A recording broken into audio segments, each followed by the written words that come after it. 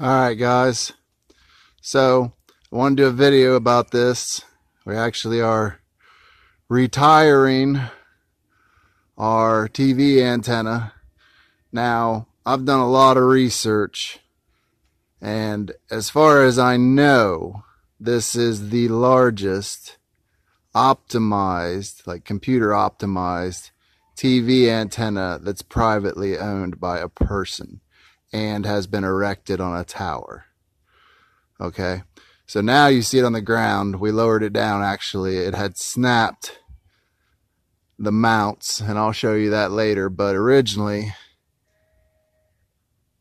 it was up there. So you can just imagine at about 35 feet off the ground. So this is kind of a oversized clone of the Channel Master 4251, which was a parabolic, but it was only like a six footer or five footer. This is a 10 foot, actually 10 and a half foot satellite dish. All right, with mesh.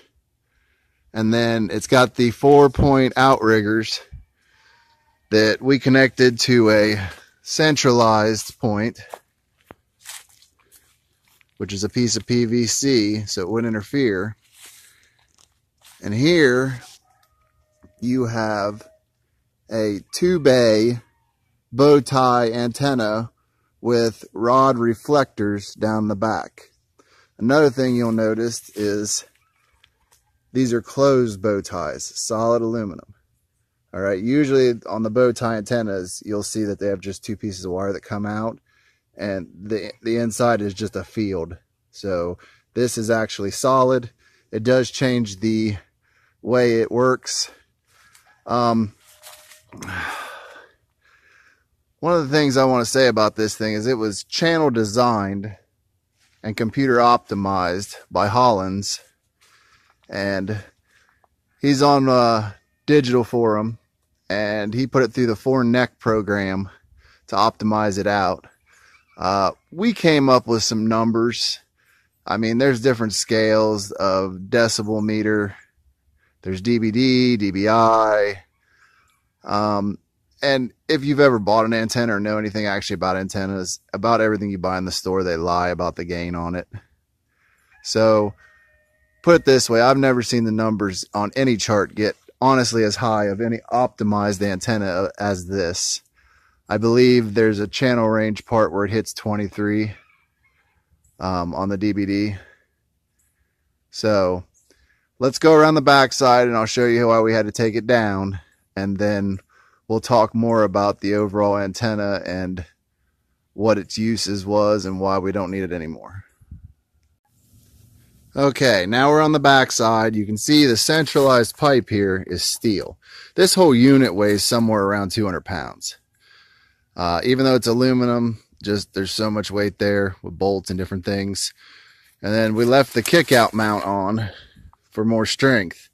But what we had here, and there's two of them here, there was a third one.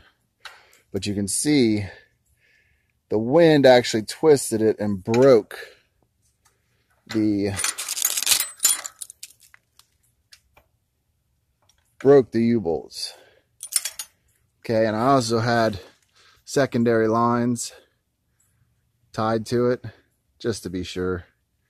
But yeah, it snapped those in the wind and we ended up having to bring it down. Now, originally, this was designed to pick up one station, but there's more to that story. And I'm going to go back around front of this and just run you up another view of where it was it was way up there.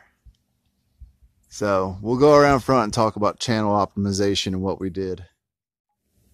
Okay, so this thing was actually built to pick up channels in West Virginia. I'm in Ohio. I'm actually down in Southeast Ohio, down by Old Man's Caves, Logan, Ohio area.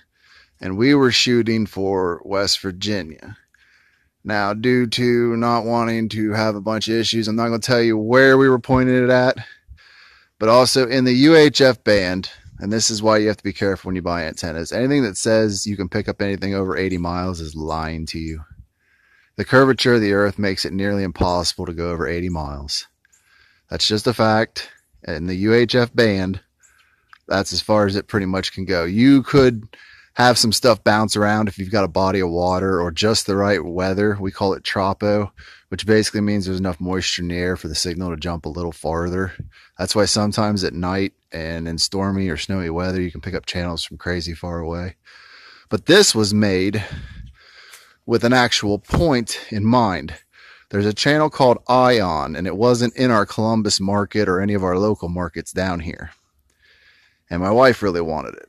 And it's got different shows that they play back to back, like Blue Bloods and Law and Order and other stuff like that. A lot of shows that she really likes.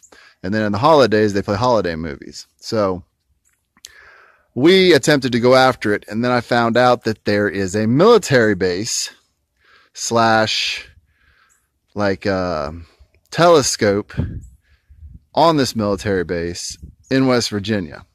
And above it is a no fly and no radio wave zone. So it's just like a dead spot. They basically jam all signals above it. All right. So the tower for Ion was on the other side of this thing. So no matter how big an antenna I built, I couldn't get through it and it just made me upset. So one day we were looking through and we saw this parabolic channel master antenna had a really high gain. And I said to myself, well, I'd like to find one of those. So I started looking around, couldn't find any. And I said, let's just build one and go bigger. So I got on the digital forums and a guy named Hollins was nice enough to work with me some and uh, optimize this out for me, running it through the four NEC program. And then after he did his run through, I took his specs in the four NEC program and pulled out all the measurements and spec'd it out as possibly close as we could with what we were actually working with and came up with this. Now, it took four people to raise this thing up. All right. Four people to get this thing all the way up 35 or 40 feet, whatever you want to say.